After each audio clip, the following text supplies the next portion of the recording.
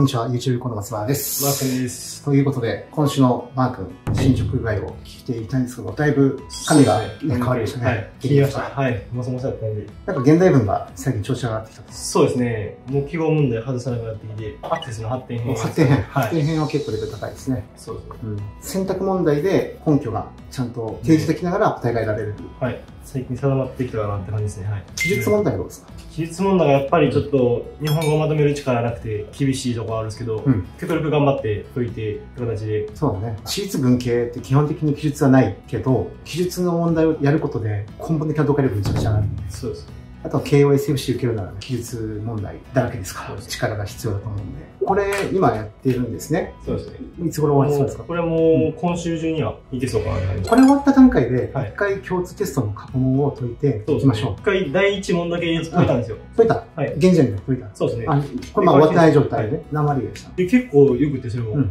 8割ぐらいやったっすね。具体的には、80点。で第1問だけで2問間違いですよね。漢字1問と記号問題1問の間違い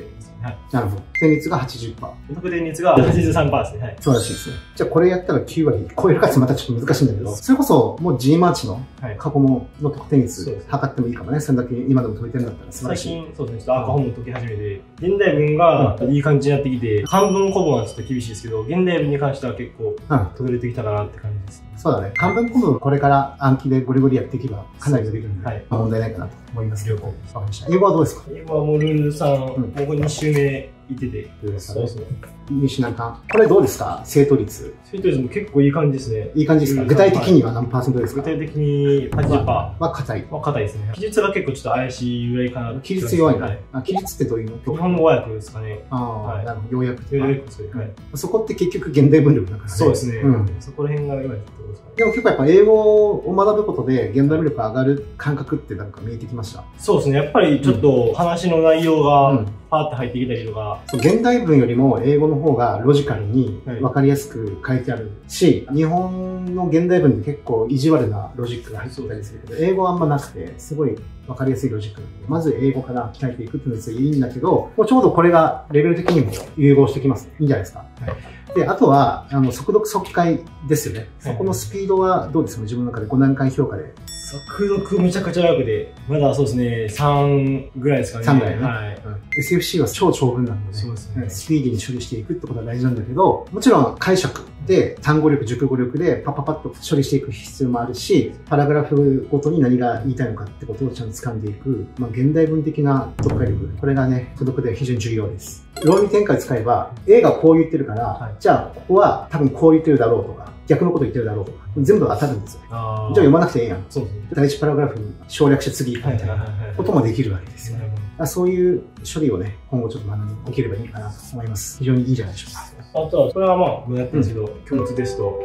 予想問題、去年のやつを主にやってて、はい今。。これ何割ですか、今、リーディング。リーディング、平均はまあ6.5割ですかね。この新しい形式のやつはちょっとまだやってなくて、これ落としてるやったんですけど、うん、そうね。まだね、リーディング、英語がちょっとやっぱ弱いかなと思います。まあ、8割を超えていきたいので、どういうところ間違いますか？やっぱりちょっと早とちりしすぎて、焦って、初めの大問1から3ぐらいを確実に取らなあかんとこをまあ、長文とかで2段階あって、はいまずゆっくり解けるっていうことがあって、次にゆっくり解けるんだけど、今度スピーディーに解くっていうところで言ったら、じっくり解いたのは割が取れそうです。ゆっくりだったら80%は取れますね。OK。はい。わかりました。じゃあ、あとスピードの問題と、あとまあ、9割は取ってほしいんで、正答率も上げていくっていうところですよね。そこは、まあ、同時に兼ねてやっていけるところではあるので、その正答率を上げていきながら、スピードを上げていくというのができることなんで、それをやっていきましょう。で、正答率が、まあ、例えば6割とか5割とかだったら、まずスピードよりも正答率を上げていくことに集中した方がいいんだけど、8割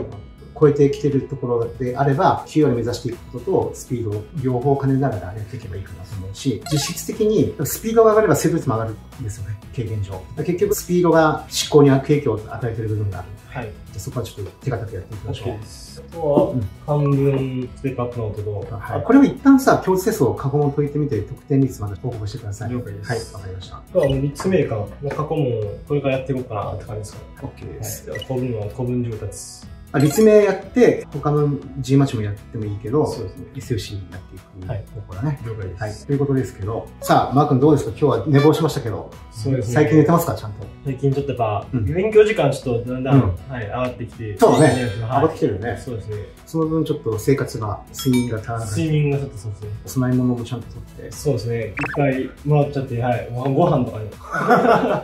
本当ありがたいです。現物支給ですか？現物式、はい。ありがたいです。はいいただきます。マー君は別に変なことお金使わないからいいと思うんだよね。今、藤川君もね、結はい構電気代が止まって大丈夫かみたいな話ありまして、はい今回ちょっとこちら側で貸してますけど、この返せよっつって。マー君のね、やっぱ今、経済状況結構厳しいと思うんだけど、よう頑張ってますよね。はいちょっとね、次の動画でですね、はいマー君の1ヶ月のはい支出と収入について、リアルな18歳、はい。拓郎、フルタイムアルバイターの現実みたいなものを示した方がいいと思いますね。そうですね。はいだ。って、はっきり言って、めちゃめちゃ頑張ってると思うよ。うんマジですか？そう。はいあの、多分日本の18歳の中で、浪人生の中で多分一番頑張ってるんじゃないかな、と僕は思ってますけど。それは言って言ってもらってありがたいです。だから、まあ、現物支給してあげたいそうですね気持ちになるんだけども、じゃあ実際ね、どんくらいの支出と収入でどういう生活してるか、ちょっとね、はいお話しいただければと思います。了解です。お願いしますお願いします。